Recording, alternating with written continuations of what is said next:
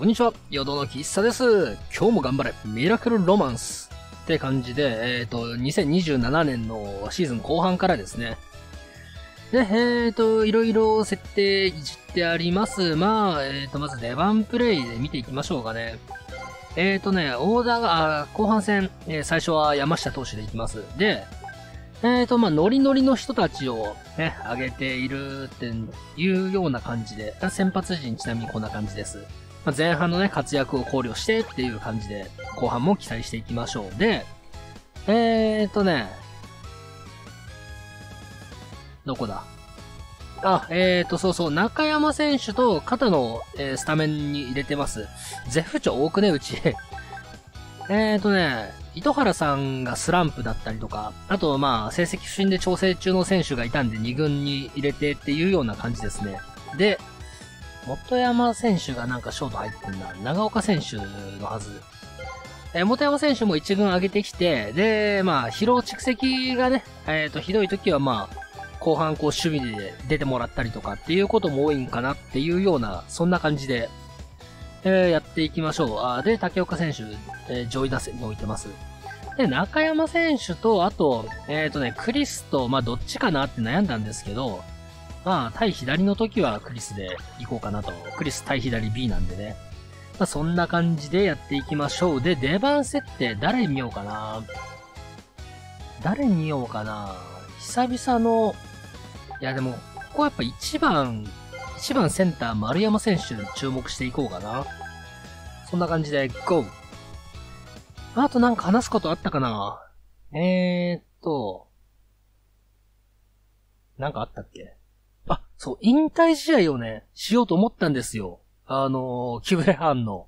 キブレハンの引退試合しようと思ったけど、ダメでした。あの、外国人選べないんですね、あれ。で、マッカフ投手も、あの、日本人登録なんですけども、日本人登録でも、やっぱ、引退試合は選べなかったですね。で、あーまあまあいいや。おい、いい球投げてくるね。さあ、先頭だ、先頭大事出てほしい。オッケーオッケーいいよ。低め変化球しっかり見極めて、投球はこれから3球目いいね、いいね、いいね。続けて落としてきたけど、見極めて、さあ、そろそろストライクが欲しいところで、まあ、すっぽ抜けましたよと。雨激しいな。第5球めちゃめちゃ雨降ってんな。あーっと、ピッチョライ。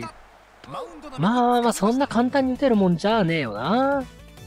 仕方ない。第2打席に行きたいと、待って、これ、ここまで、あ、ここまで1巡目はパーフェクトに抑えられてるね。さあ、そろそろ、そろそろ点が欲しい。そんな感じ。いいよいいよ、もうワンストライクぐらいね、くれてやって。はいはいはい、いいよいいよ。変化球しっかり見極めて。さあさあ、そろそろストライクが欲しいところで、うーん、変化球で取り来たけど、まあ、狙った球と違ったんだろうね。オッケーオッケーオッケー、いいよいいよ。捉えてる捉えてる。うわー、それはさすがに手出らんな。あれは、あれはもうバッテリーの勝ちでしょう。あっと、ちょっと待って、1点取られた。なんとかなって、え、ちょ、っと待って。な、な、なぜ変わったんだい？いやー、マジか。まあまあまあ、ピッチャーが良かった。な、仕方ない。そんな時もある。うちもね、3失点と、まあそんなに悪くはないからね。あーまあ、後半戦も頑張っていきましょう。あ、そうそう。で、シーズンの終わりにはね、えーっと、秋吉投手と岡田俊也投手の、え引退試合も入れております。忘れないようにね、しっかり試合見た。ちょっと待って、元山選手が怪我。えーと、まあ、2日間ならなんとかなるかなって感じで、はい、行きましょう。で、浜田選手とフィギスの、えーグッズ開発を行っております。これで、オッケーオッケー、フィギス活躍してる。あ、ちょっと待って、待って待って待って待って、七のスランプ、糸原さんがスランプ脱出。結構情報量多かったけど、大丈夫かな？オッケーオッケー、お金増えてる。よしよしよしよし。さて、じゃあ、どうしようかな。フィギスもう一回行こうか。もう一回フィギス行って、太田選手、いや待って、野手少ねえな。中山選手行っとくか？いや待って、ここはちょっと一旦、一旦開発アイテム溜まるまで待とう。溜まるまで待って、で、まあ、様子伺っていこう。あ、待って待って待って、中山選手も怪我。いや、まあでも2日なら、2日なら大丈夫っしょ、多分。何がどう大丈夫なんかわかんないけど。内山選手が活躍いいね。アイテム溜まってるね。お金稼ぎておきたいよね。あ、勝った。あ、勝ったけど、すげえ点取らまって、梅野選手のノリノリが終わった。ノリノリ梅野選手が守護神だったんだけどな。ちなみにどんな感じだ成績的には？えーっと、うわ、素晴らしい。素晴らしいな。これはちょっと引き続き守護神でいてもらった方が良さそう。で、他疲れている人はおらんか？調子の悪い人はおらんか？おらんね。オッケーオッケー。で、ここら辺は相変わらずノリノリしてると。いいじゃん、いいじゃん。ノリノリしてもらおうよ。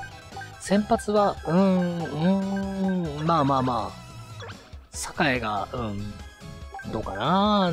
どうなのかな？栄は。栄、どうだい？おっしゃい !8 点取ってる。いいぞ、いいぞ。あー、山田選手のノリノリが終わっちゃいましたよと。あ、七のがスランプ脱出早かったね。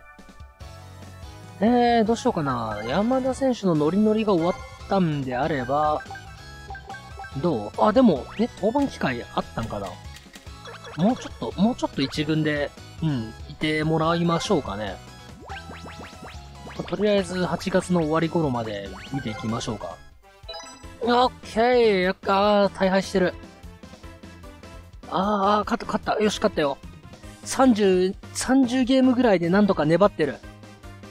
よし、勝ったうわ、すげえ勝った。ちょっと待って、丸山選手どうした？何の怪我だ？えーっと、なん、何の怪我だ？一週間。捻挫。捻挫。一週間いないんならちょっと下がってもらいましょうかね。二軍で、しかもって内山選手の疲労がすごいぞ。丸山選手も、あーやっぱこれあれか、疲れで怪我しちゃったような、そんな感じかな。で、2割2分だいぶ打率も下がってんね。外野で見たい。外野で見たい立川。でもセンター守れる人はまあいるからいいか。七野とかいるし。で、えーと、待って、内山選手も疲労蓄積してるな。どうする？鈴野そろそろもう調整も終わってるんで、じゃあ一軍戻しまして、どう肩のとか、あー、でもホームラン打ってる。で、打率もちょっと良くなってる。これはどうしようかな。あ、クリスもなんか、あ待って待って、こいつら、こいつら調整中だ。二軍に行こう。で、糸原さん、うーん、どうかな。そんな、そんなでもなんか糸原さんにいつまでも頼ってられないところはあるよね。太田選手が調整中なんで、ここは、奥村選手入れといて、内山選手、な疲労がすごいんで、ちょっと、そうね、ここは、ここは、古賀選手、キャッチャー増やしとこう。えーと、まあ、こんな感じでいこうかね。1番センター鈴野で、えー、竹岡選手、まあ、2割5分十分でしょう。で、当たってる中軸そのままで、中山選手やっぱ使えば打つんですよね。打率こそまあ2割5分切ってるけどね。で、えーと、調整が終わった鈴野を上げて、内山選手は疲れがあるんで下位打線に置いてって感じで、で、対左の時は須山を使っていきましょうと。そんな感じで、そんな感じでやっていくよ。もうね、夏場でね、もうみんな、待って、あ、待って待って待って待って。アイテム開発がもう、もう終わるんで、どうしようかな。とりあえず次の日まで行っておいて、31日までいいのかな？キブレハンが衰えてきてる。で、ここで、ここでアイテムを開発しよう。えーっと、誰だ？浜田選手、フィギス。そして、そして誰だ？あー、どうだろう、内山選手かちょっと疲労溜まってるからななあ、中山選手で行こう。これで行こう。これでお金を貯めたい。さあ、行け。なんか、ちょっと、不規則日程になってきてるけど。一点、あーもうちょっと点欲しい。あ、でも勝ってる。あ、ちょっとまだ、浜田選手怪我。これは、これはアイテム開発が大変だ。ちょっと、アイテム開発、アイテム多分売れないだろうな、これ。さあ、どうしようかな。外野で、中軸がいないっていうのも辛いな。ここで、ここでキブレハンか。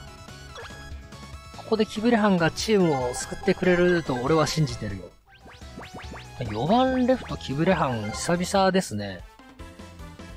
で、えーと、丸山選手怪我が終わったけど、どうかもうちょっとまあ、もうちょっと進めて、確実に帰ってこれるようにしあー、点は取れてると言いたかったけど取れなかったね。完封食らってるよ。さあ、ってど、どんな感じだ？渋谷藩、どんな感じだい ?2 割1打点。はあ。肩の調整中。えー、クリスもまだ調整中か。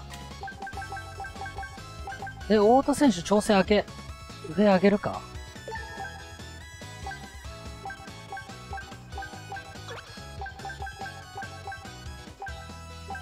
え、丸山選手は疲労がまだ溜まってるけど、いや、でも、変えられんでしょう。ねえ。シノもまあ頑張ってるけど、やっぱ丸、あ、待って、でも打率は、打率はそんなでもないな。えー、じゃあ、キプレハンに変わってって感じで。まあね、キブレハンがいない間だけど、まあ、浜田選手があと4日で、そう、怪我自体はここで終わるけど、あと4日でね、帰ってくるんで、そこまで飛ばしまして、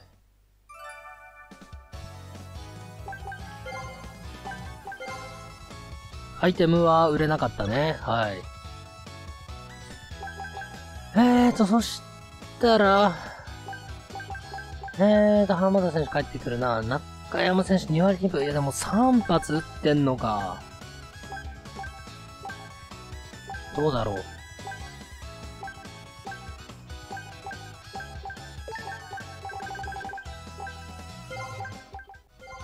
えー、じゃあ浜田選手も帰ってきたと。お待って待って待って、みそたが、みそたがノリノリらしい。みそたがノリノリらしいよ。え、これ出番あるか？もうあと数試合だけど、みそたいっちゃう？えー、どうしようかな。ピッチャー、先発ピッチャーは、うわー、まあ、サッカーへ下げるか？サッカーへを下げて、みぞた行くか。ノリノリだしな。で、ちなみに、えーと、あー、中ゴミがまあまあ、まあまあな防御率になってるね。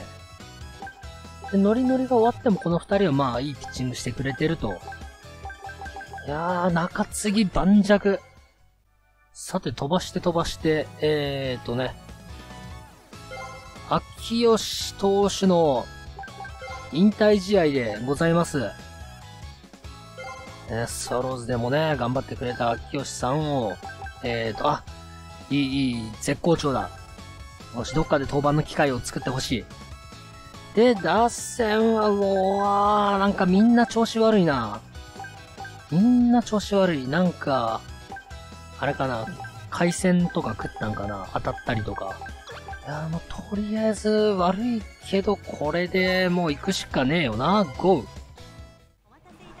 これ、登板お任せにしてあるんだけど、どっかちゃんと投げる機会作ってくれるかな？作って、ちょ、ちょ待って、点取られてる。いきなり点取られてるよ。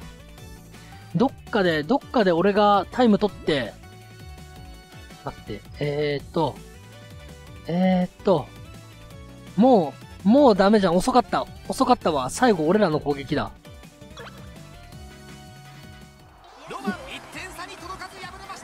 残念でした。あ、森下さん、ねもうリアル森下さんもいいピッチャーですからね。いや、ちょっと待って、これマジで登板、登板作んなきゃダメだったな。ピッチャーの引退試合難しいな。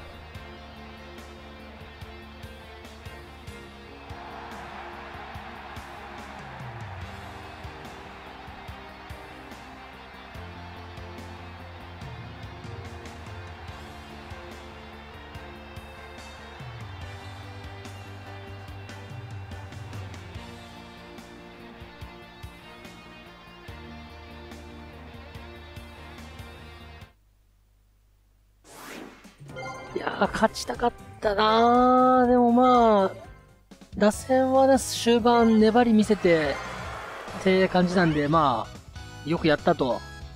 ね、そういうところは褒めてあげたいなと思います。ちょっと待って、なんか電話来てる。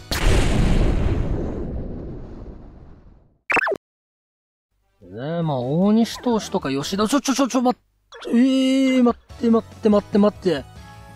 何があった？何があった？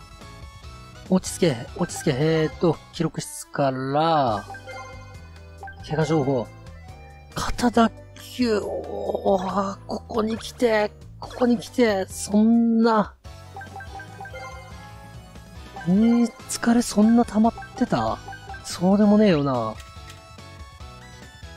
まあまあ、能力の低下も痛いけど、いや、終盤ね、大事、大事な終盤っていうほど、そんな、そんななんか、ね、上位争ってるわけでもないけどさ。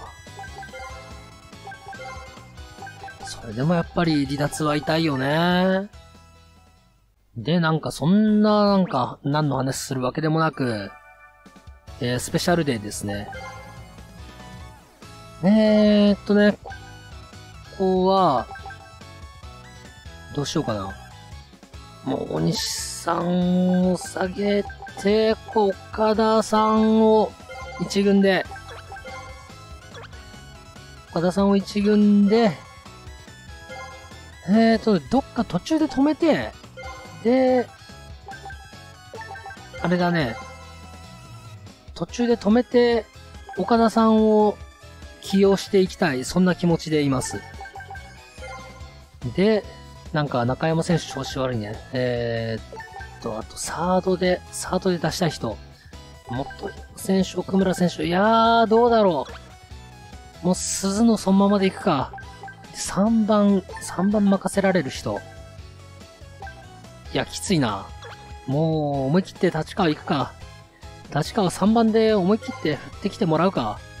そんな感じで。で、ピッチャーをちゃんと、はい、えー、っと、岡田さん入ってんね。さあ、これで行きましょう。さあ、なんか、途中で、どうしようかな。やっぱ、中盤6回、7回ぐらいで、あ、でも待って、溝田が、溝田が高騰してるよ。ここら辺で、待って待って待って待って待って待って待って待って待って、えーっと、どうなってる？もう変わったんだよ。変わって、変わったところだけど、え、どうしよう。とりあえず、あ、違う、出番、出番設定にしとけばよかったんだ。まあいいや。もう、もう、ここ行こう、ここ行こうぜ。ここで、ここで岡田さん行こう。これで、これで投げてもらって、はい。で、待って、抑えたんじゃない？そして、うわーと待って、これ、え？これは、さよなら満塁弾はあこれは、これは来シーズンに向けてすごくこうポジティブな要素が生まれたんじゃないでしょうか。で、岡田さんの引退に花を添えられたと。まあ、別にね、そのスワローズ選手でもないですし、ね、ロマンスから来てくれた選手なんですけれど、個人的に大好きなんです、岡田敏也さん。なんでまあ、うちで引退試合をしようかなと。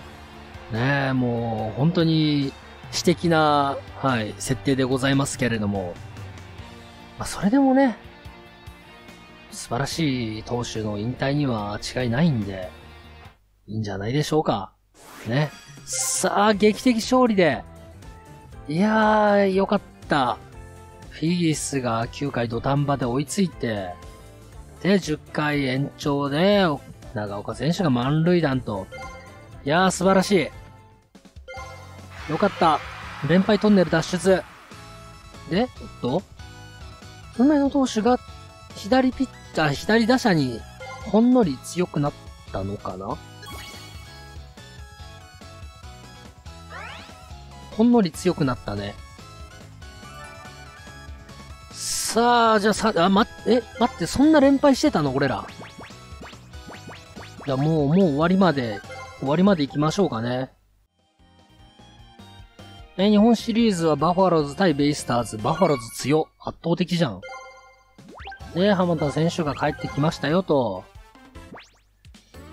いやー、待って、これは、これはなー、30 7ゲーム差。結構頑張ったんじゃない？前半終了時点で多分25ゲーム差ぐらいだったっけ？ねえ。それを考えると、あー、機材が、お金ないのに、ファン缶はできるよね、確か。去年も、去年もファン缶ギリギリやった気がする。オッケーオッケーギリギリやれるわ。さあ、年間表彰。フィギスがベストナイン。はい。で、長岡選手がゴールデングラブ。で、個人タイトルはもう清水投手が最優秀中継ぎと素晴らしい。で、ん？あー、また新人王に中込と立川がノミネートされてるけど、ん？候補に上がってるけど、まあ、まあまあダメですよねっていう。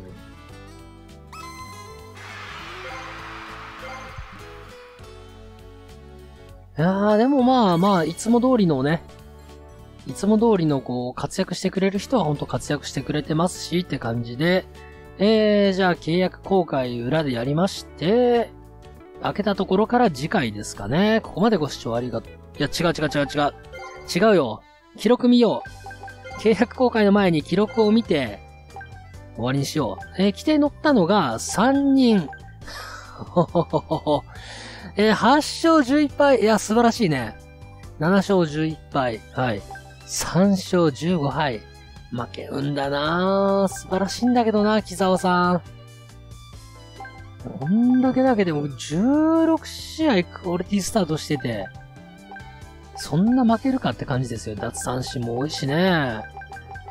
いや、ちょっと待ってよ負け運ってやっぱ怖えな。で、あ、1イニング投げて1点取られたんだね、岡田さん。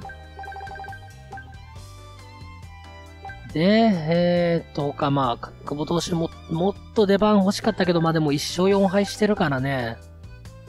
それ考えたら木沢投手の方があれか、早いとこ、下げておくべきだったみたいな判断はあるよね。で、他は、広橋あんまり投げてねえな、今季な。もったいな。1試合しか投げてねえのかな、これは。なんでだ、え、スランプになったんだっけ？なんで下げたんだろう、俺。ねえ、その他は、まあ、やっぱ中継ぎは硬いね。山田投手もノリノリでね、上がってきて、抑えてるもんね。すげえな中込どうよ。